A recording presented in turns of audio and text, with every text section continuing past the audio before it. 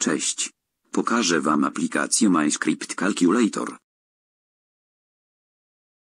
Dzięki tej aplikacji można wykonywać obliczenia rysując je. Tutaj mamy poradnik jak rysować obliczenia.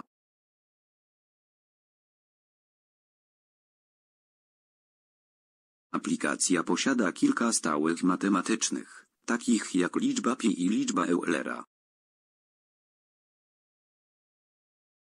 Tej aplikacji nie można dzielić przez zero i wyciągać pierwiastka kwadratowego z liczb ujemnych.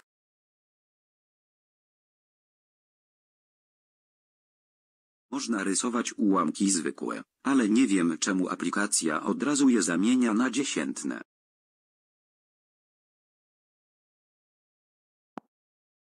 Aplikacja potrafi rozwiązać proste równania. Zamiast xów rysujemy pytajniki.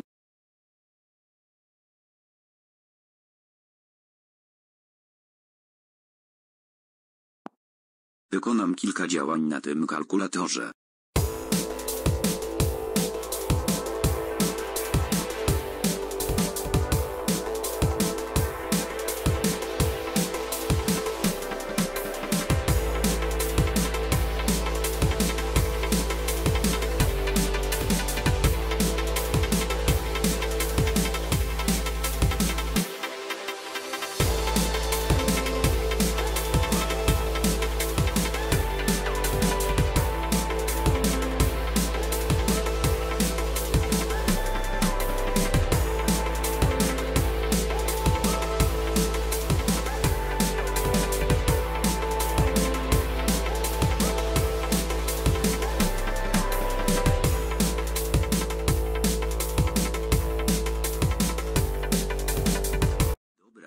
Przejdźmy do oceny.